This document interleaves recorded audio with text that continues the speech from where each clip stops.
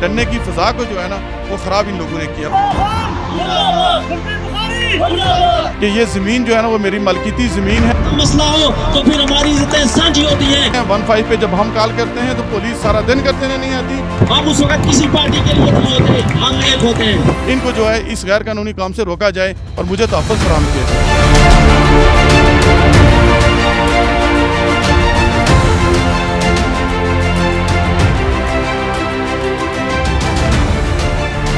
जाए अस्सलाम आप देख रहे हैं program hot talk with Raja Jain Rahman. PTI हुकूमत का, हुकूमत में आने से पहले वादे तो बहुत सारे किए गए थे, पर एक स्पेसिफिक जो बात की गई थी, वो ये कहा जाता था कि पीएमएलएन एक कब्जा ग्रुप है। कब्जा ग्रुप के खिलाफ हुकूमत में आते साथ ही क्रैकडाउन किया जाएगा। पर देखना ये कि दो साल तो हो गए हुकूमत में आए हुए। दो साल में हुकूमत में आने के बाद कितने ऐसे वाकयात पेश आए जिनको कब्जा ग्रुप के हवाले से रोका गया।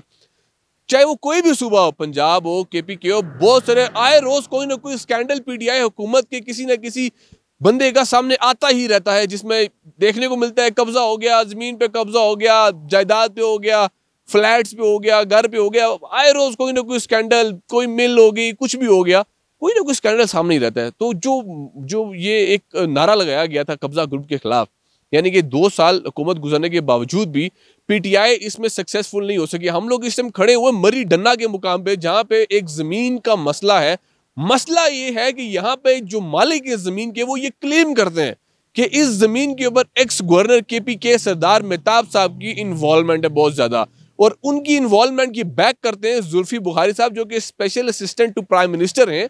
उनकी बैक है सरदार मेहताब साहब को और वो दोनों मिल के बकौल मालिक के, कि सरदार साहब ये ज़मीन उनसे हथियाना चाहते हैं। अब चलते हैं, जो इस ज़मीन के मालिक हैं, उनके पास चलते हैं और उनसे पूछते हैं कि आया जो माजरा, जो इल्ज़ाम उनने पाकिस्तान की दो पॉलिटिकल लोगों के ऊपर लगाया, जो कि पॉलिटिक्स के ऊपर एक बड़ा नाम रखते हैं, जिनका पॉलिटिक्स के अंदर एक बड़ा नाम है। उनके ऊपर ऐसा इल्ज़ाम लगाना कि वो कब्ज़ा ग्रुप है। क्या ये एक बात जेब देती है? ये जानेंगे जो यहाँ के मालिक कामरान अब्बासी साहब हैं, उनसे पूछेंगे कि माजरा था क्या? हमारे साथ रहिएगा।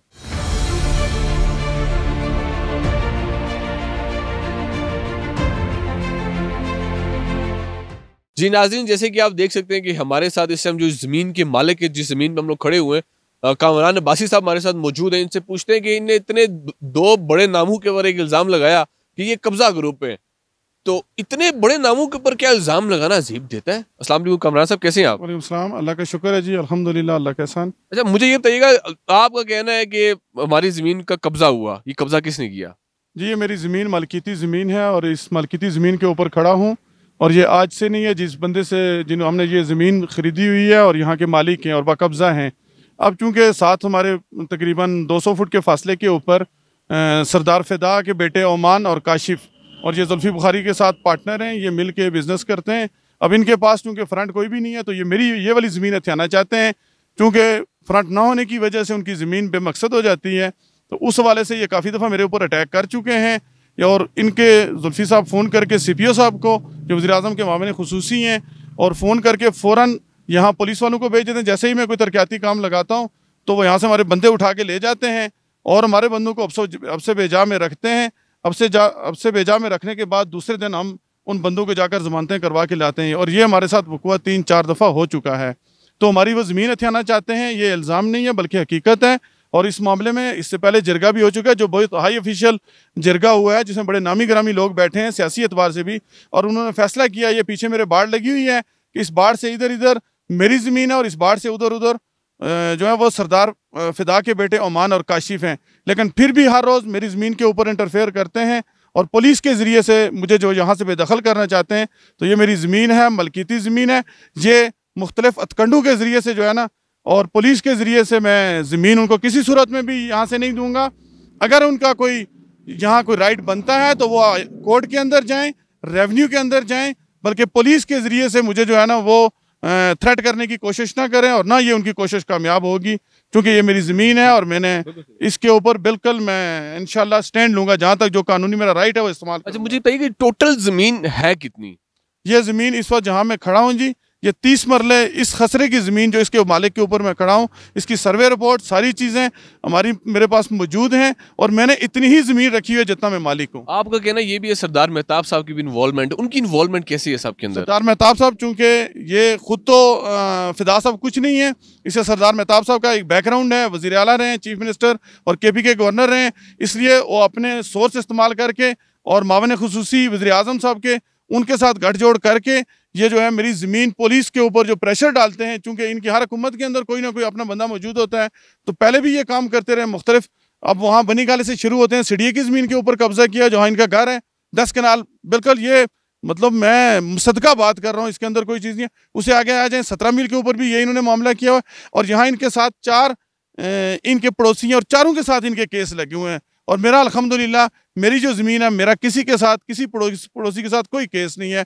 ये यहाँ की, इस डन्ने की, जो अरवाड़ी की जगह है, यहाँ इंटरनेशनल चेनें आई हुई हैं, सेकंड का आप ग्लोरिया जीन और यहाँ के अमन को तबाह करने वाले ये लोग हैं जिनका मैंने नाम लिया है। बेशक ये मकामी लोग यहाँ सत्तर साल, अस्सी साल वाले मौजूद हैं। आप इनसे पूछ सकते हैं कि डन्ने की फ़ज़ा को जो है ना, वो ख़राब इन लोगों ने किया हुआ जिनके मैंने नाम लिए हैं। जिरगा हुआ आपने बताया। जिरगे के अगर आप समझते हैं, नाम बताए जा सकते हैं कि जिरगे के अंदर कौन कौन मौजूद था इनकी तरफ़ से भी कोई मौजूद था जिनका आपके साथ झगड़ा है? जी, इनकी तरफ़ से जो मौजूद है वो मरियम औरंगज़ेब साहिबा, जो इस वक्त मुस्लिम लीग नून के जो एडवाइज़र हैं, उनके भाई मौजूद थे, एहसन। और मेरी तरफ़ से जो है ना वो काशिफ भाई साहब ए आर वाई के इनकर पर्सन ऑफ़ द रिकॉर्ड वो मौजूद थे और एक वकार भाई साहब जिनकी निगरानी में ये सारा जिरगा हुआ और जिरगे में ये तय हुई है कि ये ज़मीन जो है ना, वो मेरी मलकीती ज़मीन है और इसमें यह तय हो गया कि इधर मेरी है और मेरे आगे जो एक्वायर्ड एरिया है, उसकी पार्किंग उसके राइट्स मैं इस्तेमाल करूँगा। लेकिन ये जो एक्वायर्ड एरिया इनके पास चूँकि फ्रंट नहीं है, ये हथियाना चाहते हैं, उस जिरगे के नाम जो है ना, मैंने आपको बता दिए बेशक उनसे भी आप पूछ सकते हैं। जब आपके ऊपर अगर पुलिस का कोई ऐसा रद्दमल आता है, पुलिस आपकी बंदूक उठाती है तो आपको भी पुलिस का सहारा लेना चाहिए। आप भी एफ़ आई आर कराएँ, आप भी इनके खिलाफ जाएँ। जिस तरह आपको बेहतर लगता है, कानूनी रास्ता इख्तियार करें ना। जी, हम कानूनी रास्ता बिल्कुल इख्तियार करते हैं। हमने अप्लीकेशन दी हुई हैं। वन फाइव पे जब हम कॉल करते हैं तो पुलिस सारा दिन करते रहने नहीं आती। इनकी एक झूठी वन फाइव के ऊपर, एक झूठी वन फाइव के ऊपर पुलिस का पूरा वफद आ जाता है और हमारे बंधु को लेके जाता है। आपको पता है, पाकिस्तान के अदारों के निज़ाम का कि अमाम जो पुलिस को दरख्वास्तें देते हैं, सारा दिन देते रहे तो एफ़ आई आर नहीं होती। और ये जब एक कॉल करते हैं और झूठी कॉल करते हैं, झगड़ा भी कोई नहीं हुआ। वन फाइव पे ऊपर कॉल करते हैं पुलिस पूरे लश्कर के साथ आती है और हमारे बंदूक को लेके जाती है।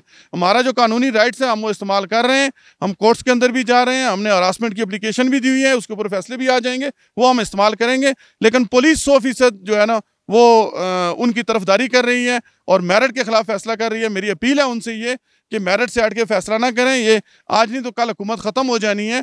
तो ये इस तरीके के साथ गैर जिम्मेदाराना जो है ना वो रवैया इस्तेमाल ना करें और हमारा जो राइट्स कानूनी है वो हमें दें और जो उनका है वो उनको दें। इलीगल एक्सरसाइज यहाँ बिल्कुल ना करें। तो जिरगे के अंदर लोगों ने जब फैसला कर दिया था तो फिर दोबारा ये नौबत क्यों आई कि वो आपको काम करने से रोकते हैं? ऐसी वजह स्पेसिफिक हुई है?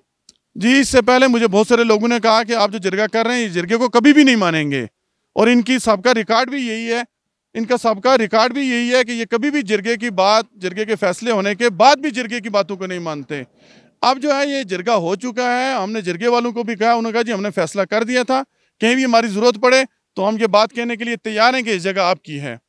उनकी तरफ़ से ऐसा कौन सा बंदा था जो खास की बंदा है, जो आप जिसको नॉमिनेट करना चाहें, ये बंदा उनकी तरफ़ से मेन बंदा जो हमें डिस्टर्ब करता है? जो मेन आदमी है, उनकी तरफ़ से ओमान है, जो वजी अजम के मावन खसूसी हैं, उनके साथ पार्टनर भी है, उनका क्लास फेलो भी है इंग्लैंड में, और सारे, बल्कि दुबई में गया अनऑफिशियल वो उनका ऑफिशियल दौरा था या ये उनके साथ ऑफिशियल दौरे में भी जो है ना, बगैर किसी मतलब परमिशन के ये उनके साथ गया गवर्नमेंट की, ये हर मामले में उनके साथ होता है। इसलिए मैं उसको नॉमिनेट करता हूँ ओमान जो सरदार काशिफ का बेटा है और सरदार मेहताब साहब का भतीजा है और ये मावन खसूसी साहब का जो है ना वो क्लास फेलो भी है और पार्टनर भी है। मैं उसको नॉमिनेट करता हूँ। हर काम उसकी मर्ज़ी और मंशा के मुताबिक होता है। हुकूमत से कोई अपील करना चाहिए आप? हुकूमत से मैं ये पुरजोर अपील करता हूँ कि ये जो मेरे खिलाफ जो जो पुलिस कार्रवाइयाँ कर रही है गैर कानूनी तरीके के ऊपर और मैं अपना छोटा मोटा जो कारोबार यहाँ करना चाहता हूँ उससे मुझे ये बेदखल करना चाहते हैं तो ये मुझसे, मुझे अपील है गवर्नमेंट से और वजी अला से और वजी अजम साहब से और गवर्नर साहब से और चीफ जस्टिस साहब से कि इसका नोटिस लें और इन लोगों के जो गैर कानूनी कब्जा करना चाहते हैं और कर रहे हैं लोगों की ज़मीनों के ऊपर, इनको जो है इस गैर कानूनी काम से रोका जाए और मुझे तहफ़ फराम किया जाए।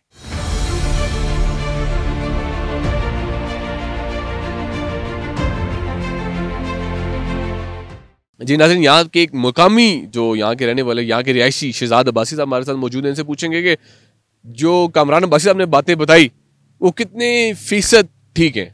जी, अस्सलाम वालेकुम। अस्सलाम जी। हालात ये हैं यहाँ पे कि ये एक मेन बरलब रोड जगह है, जहाँ पे असले लेके लोग बैठे हुए हैं और असले से यहाँ से जो टूरिस्ट गुजर रहा है, वो भी तो खौफ रास का जहाँ शिकार हो रहा है, वहाँ पे मरी की जहाँ बदनामी हो रही है, अल्लाह का मकीन बहुत सारे डिस्टर्ब हैं। पिछले कई अदवार में ये पिछले अगर पाँच छः आठ महीने, साल, दो साल से देखें तो यहाँ पे कोई ना कोई कब्ज़ा माफिया का इंतशार पड़ा रहता है, जिससे मकामी आबादी के साथ टूरिस्ट भी जो है, वो बहुत ज़्यादा परेशान है। कमरान भाई साहब जो है, वो अपने राइट पे हैं, और उनकी ये बात कि यहाँ पे हज़ारों बंदों का एक आज से दो महीने पहले और काफ़ी मतबर लोग जो थे, बैठ के उन्होंने फैसला किया और इस इंतशार को ख़त्म करने की कोशिश की। लेकिन उस इंतज़ार के बावजूद इंतज़ामिया लोकल को अपने वसाइल और अख्तियार से पुश अप करके उनको भिजवाना और लोगों को डराना धमकाना और डरा धमका के अपने मुफाद हासिल करना ये कहाँ का कानून है? इसके लिए आला अदलियाँ हैं इसके लिए महकमा रेवन्यू का अदारा है वहाँ पे करके इसको जिस तरीके का है जिसका राइट है वो ले। इसका ये नहीं है कि आपके पास अगर अपने लिए कोई रास्ता नहीं है या आपका फ्रंट पे नहीं है तो आप दूसरों का नुकसान करके कब्जा करके अपने लिए फ्रंट ढूंढें। अच्छा, आपको क्या लगता है थर्ड पर्सन वाकई पॉलिटिकली दूसरी पार्टी की तरफ़ से हुकूमती पार्टी की तरफ़ से इन्वॉल्वमेंट है इस केस के अंदर? देखें जी, किसी भी कब्जा गेम में ये हम नहीं कह सकते कि हुकूमती पा, पार्टी नहीं होती। कोई भी पार्टी हो हमेशा सियासी जो है वो अपनी वो पुष्पनाई करवाती है और वो पुष्पनाई के लिए जहाँ पार्टी के लिए बदनामी का बायस बनती है वो लो, वहाँ लोगों के लिए भी वो एक बायस निदामत बनते हैं कि यार ये कौन लोग हैं कि ये टक्के मारी के लिए हम लोग यहाँ पे कारोबार करने आते हैं बाहर से लोग आके कारोबार करते हैं बना कर ले जाते हैं हर चीज़ करके चले जाते हैं। लेकिन ये बार बार यहाँ पे इस चीज़ की वजह से हमारा जो है वो बहुत सारा मसाइल हैं। आप ये कहना चाहते हैं कामरान बासी साहब ने जो बातें की वो हक पे है? जी जी वो हक पे हैं और ये काफ़ी सारा मैं अभी भी बैठा रहा हूँ पाँच सात बंदे जो मलक्का जिससे उनकी हदूद के साथ जिनकी हद नज़र आती है और वो कहते हैं कि हमारी हद है वो सब भी डिस्टर्ब है वो परेशान है कि लगातार हम लोग सफ़ेद पोश लोग हैं हम लोग थाने के चारे असले नहीं कर सकते हमें डरा धमका के ये काम किए जा रहे हैं जो हमारे लिए जो है काफ़ी खौफ और रास बने हुए हैं। काफ़ी और इन उम्मीद करते हैं जी, इंतज़ामिया जो है, वो कानून के मुताबिक अमल करे, बजाय इसके कि वो एक वन साइड होके कोई काम करे। और सबसे आला बात यह है कि आला अदलिया आपके पास मौजूद है, छोटे से लेके ऊपर तक, जिसकी सुप्रीम कोर्ट में भी काफ़ी सारा बार बार नोटिस दिया गया मरी की तरफ़। और मैं ये भी कहूँगा कि सेक्रटरी रेवन्यू और कमिश्नर रेवन्यू जो अपनी खेवट्स और जो अपना रिकॉर्ड कंप्यूटराइज कर रहे हैं और जो ब्लॉक हैं उनके इशू पे खुद नज़र डालें और उनको अपडेट करें ताकि लोगों के लिए परेशानी ख़त्म हो और हुकूमती अमला के लिए भी हुकूमती इंतज़ामिया के लिए भी ये परेशानियाँ ख़त्म और लोगों को उनका जायज़ हक मिलना चाहिए। जी नाजरीन जैसे कि आपने कमरान अब्बासी साहब शहजाद अब्बासी साहब की बात सुनी उम्मीद करते हैं हुकूमत से उम्मीद करते हैं कि इनकी आवाज़ ज़रूर सुनेंगे और जो इनका मौक़ है उसके ऊपर वो ज़रूर अमल करेंगे और हमारे प्लेटफॉर्म से हक न्यूज़ का वैसे भी एक रिस्पॉन्सिबिलिटी है कि हक न्यूज़ हमेशा पॉजिटिव चीज़ों को प्रमोट करता है। चाहे वो पाकिस्तान के अंदर कहीं पे भी कोई ऐसी चीज़ हो हक न्यूज़ उसके लिए हक की आवाज़ उठाने के लिए हमेशा तैयार रहता है। अब मुझे अपने होस्ट राजा जैन रहमान को इजाज़त दीजिए। अल्लाह हाफिज़। डरने की फिजा को जो है ना वो ख़राब इन लोगों ने किया। कि ये ज़मीन जो है ना वो मेरी मलकीती ज़मीन है। मसला हो तो फिर हमारी इज्जतें साझी होती है। वन फाइव पे जब हम कॉल करते हैं तो पुलिस सारा दिन करते नहीं आती। हम उस वक्त किसी पार्टी के लिए नहीं होते हम एक होते हैं। इनको जो है इस गैर कानूनी काम से रोका जाए और मुझे तहफ़ फराम किया जाए।